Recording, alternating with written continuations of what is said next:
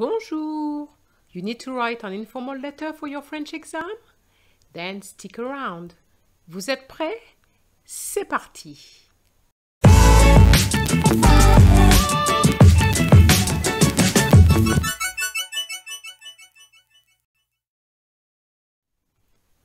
The first thing you need to do is to read the instructions.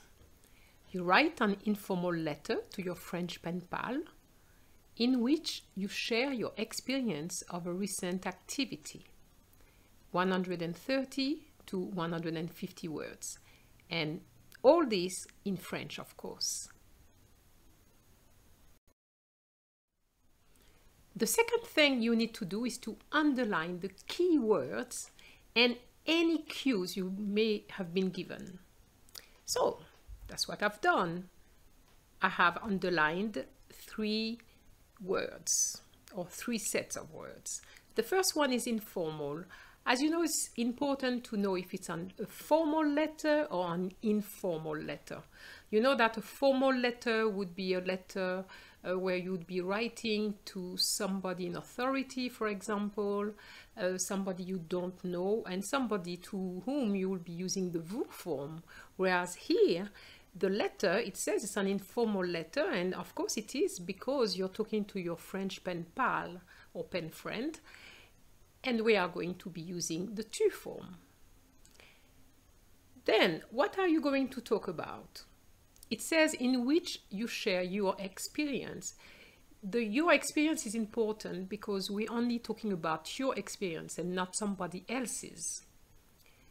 Experience of what? Of a recent activity. It's not an activity, but it's recent. So if it's recent, it means that it's it's been done already. So of course, this means that we are going to be using the past tense. The third thing you need to do is to think of what they are looking for. Hmm, informal. Okay, so if it's informal, it means that I have to use the tu form. So you must be thinking, oh, I have to keep or to stick to the tu form. Then recent activity, it means, if it's recent, it means that I have to use the past tense. But what I would say to you is don't stick to one form only. You have the passé composé as well as the imperfect, which is l'imparfait. And if you can use the pluperfect, even better. I would like to remind you, if you don't know, that French Action has videos on the passé composé with avoir, passé composé with être, a video on the imperfect tense, and a video with passé composé versus imperfect. So all this is already on French Action. If you're not sure, I would advise you to watch those videos. The fourth thing you will need to do is to think of what you will need to write about. Now, when we talk about recent activity and your experience, we need to think of the activities in themselves. So, for example, I put down here a party. Is it a party, a birthday party? Is it a fundraising activity? Is it a school or work activity? Here are some examples of places where you could go to uh, for the activities. The first one, a concert, un concert. Or maybe you want to go to a fair, une foire. Maybe you want to talk about a birthday party, an anniversaire or une surprise party if it's a surprised one. Or maybe you want to talk about going to a circus. Why not? Un cirque. Maybe you want to go to a car exhibition. Why not? Une, une exposition de voitures. Or maybe you just want to talk about a fashion show which you need to organize for school or work. Why not? And that would be un défilé de mode. Whatever you decide to use, make sure you have the vocabulary going with it. when you have decided on the activity, you have to think about your plan.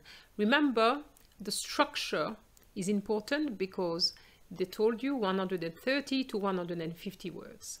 To make it easier, we're going to use 150 words, telling you really 25, 125, but I know that I won't be able to do 25, 125.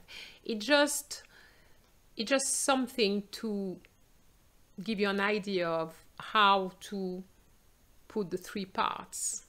And the three parts are the ones, I'm sure you know them already, the introduction in which you're going to state the reason for writing, the body of the letter, so you're going to really develop everything around the activity you have chosen, and then a short conclusion to finish off the letter. So now the example. So for what I would call the introduction, remember, cher Paul, cher Sophie, I put cher Paul or cher Sophie to show you the difference between the masculine and the feminine when you want to say dear. Okay, so cher Paul and cher Sophie, same pronunciation but different spelling. As you can see, we have to add an E for the feminine and then you could start something like Comment vas-tu? How are you? Comment vas-tu? Moi, ça va. So now you're referring to yourself. Moi, ça va, I'm fine. Mais je suis un peu stressée à cause des examens. But I'm a little stressed because of exams. Je suis un peu stressée à cause des examens. Il y a tant de matières à réviser. There are so many subjects to revise. So that is my, little introduction, which in fact is not quite finished because I need to state the reason for writing. In this letter, I'm going to assume that I am a male, so you're not going to see the extra E, but I'm going to ask all the ladies to remember to add the E for the feminine part. Now I'm going to state the reason as to why I'm writing. And the way I'm going to do it, I'm going to try to keep the reader interested. So I'm going to start by figure-toi que je suis allé à, and then you state the place where you went. And then, il faut que je te raconte. I must tell you about it. Il faut que je te raconte. So when you say il faut que je te raconte, it means, wow, this person is going to tell me something which is very interesting. Let's see what he or she has to say. So that's one way of keeping the reader interested. And also, I continue with c'était super. And now, if, it's, if it was great, then I need to find out and I will continue reading the letter. Have you noticed that I also keep the number of words so that you have an idea of what 10 words look like or 20 words look like, okay?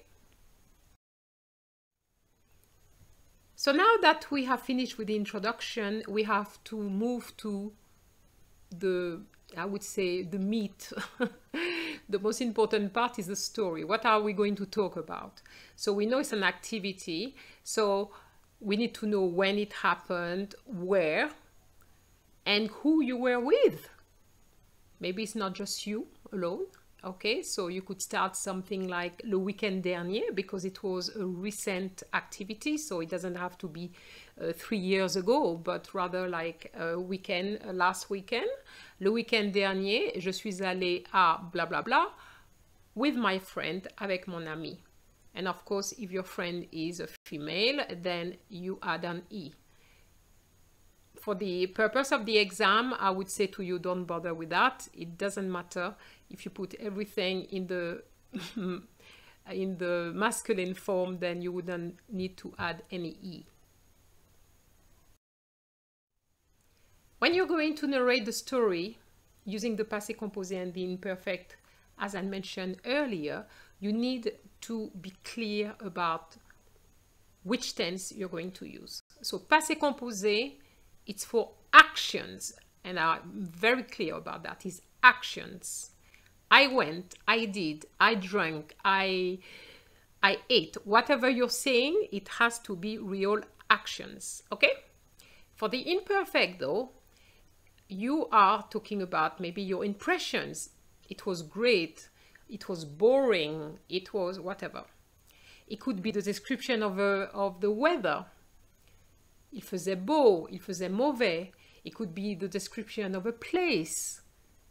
So here we're not really talking about actions, and you will see that the verbs you're going to be using very often are to be or to have as well.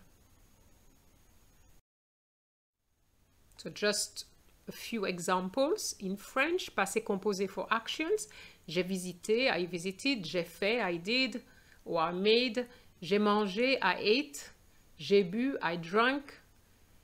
And then on the next line, I put the to be verbs to remind you that you can use the to be verbs, especially when you want to say I went. You can't say j'ai allé, which we see very often, which is incorrect. Je suis allé, je suis sorti, I went out, etc. For the imperfect, for your impressions, you want to say, oh, it was a beautiful evening. C'était une belle soirée. C'était une belle soirée. So the imperfect is there with c'était. You want to say about, you want to talk about the weather, how nice the weather was. You could say il faisait un temps magnifique. So faisait is the imperfect of faire.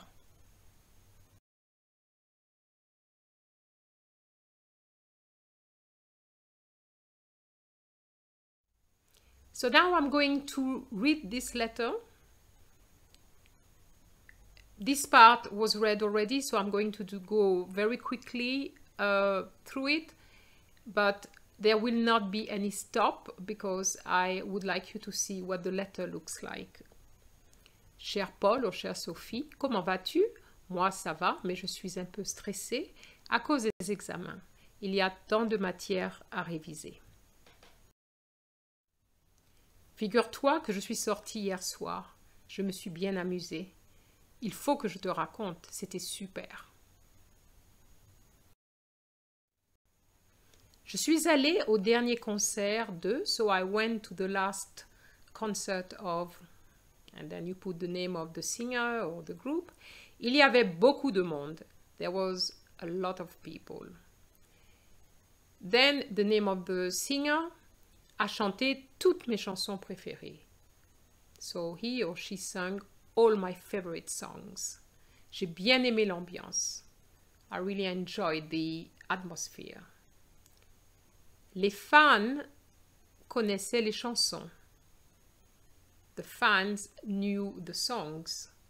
Le concert s'est terminé avec un feu d'artifice.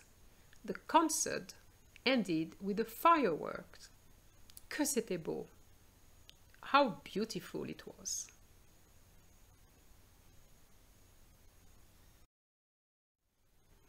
Now, if no cues are given, because obviously if you have cues, you'll have to go according to what is asked of you.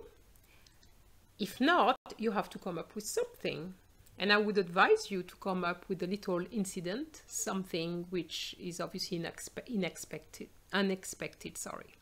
So here we have cependant, il y a eu un petit incident. However, there was a little incident. Une fille est montée sur le podium en courant pour embrasser le chanteur. So now we, you're talking about a girl. Est montée, so she went up sur le podium. Podium is the stage, so she went up to the stage. En courant, how did she do it? Is running, by running. What for? To kiss the singer. So a translation, a better translation, would be something like a girl run up to the stage to kiss the singer. Comme c'était inattendu, les gardes du corps sont intervenus. Since it was unexpected, the bodyguards intervened. And here I'm using intervenir, using the to be form to show you that because intervenir has venir in it, you need to use the to be form. Even though it's not part of the 13 verbs, uh, but venir is. So anything coming with venir would, would be the same, okay? So les gardes du corps sont intervenus. Cela a interrompu le concert. So this interrupted the concert. Heureusement qu'il ne s'est rien passé d'autre. Fortunately, nothing else happened. And all this came up to 43 words. So, we've been talking about a concert, which was good. However, there was a little incident, but generally speaking, it was still good. So, I'm going to advise my pen, my pen pal to go to that concert. Je te conseille d'aller à ce concert s'il passe dans ta ville. I advise you to go to this concert if it comes to your town. Ça vaut le coup. Ça vaut le coup is a very nice expression to remember. It's worth it. It's worth it. Always good to put some idioms in your letter. Then I put Je sais que tu aimeras. I added this for two reasons. The first one is to show the examiner that I can use another tense. It is true that they ask me to basically use the past tense, but I can show you or can show them that I can use the future. So that's the reason why I put the future. I know you will like it.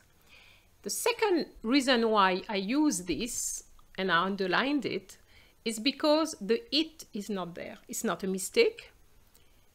If I put a it there, which is the same as him or her, it would the aimeras would change into love. I know you will love him or will love her. So to prevent this confusion, I don't put the it. Je sais que tu aimeras. With aimer, you have to be careful because aimer is to like, but it's also to love. So depending on how you put it, it changes meaning. So here, I'm going to say, je sais que tu aimeras. Of course, I'm talking about the concert. And here, I'm not putting any L apostrophe there. Bon, je vais te laisser. Well, I'm going to leave you. Envoie le bonjour à tes parents de ma part. Send my regards to your parents. And then I added another expressions. Ce que tu fais de beau, faire de beau means what you are up to. Raconte-moi ce que tu fais de beau. Tell me what you're up to. À bientôt. See you soon. And that came up to 38 words. Okay, so my introduction had 47 words. It's a lot, but remember I am teaching you certain things, so I had to add some other sentences so that you can see what you could put, but you wouldn't need to put all this. Okay, so 20 something words would go there. Activity, 105 words. Okay, and the conclusion, 22 words. The conclusion for me starts at Bon, je vais te laisser. I'm going to leave you. That's where my conclusion starts and that gave me 22 words. So of course I'm over the limit, 150 words. However, you will not need to write as many words as I have, okay? It's just to show you what can be written. And also I wanted to add some idioms and when you do these things, it's going to uh, be longer. But I hope that this exercise has shown you or given you an idea of how to go about such a letter or this type of letter. And of course, if you enjoyed it, please like it, write a comment, and don't forget to subscribe if you haven't. Au revoir!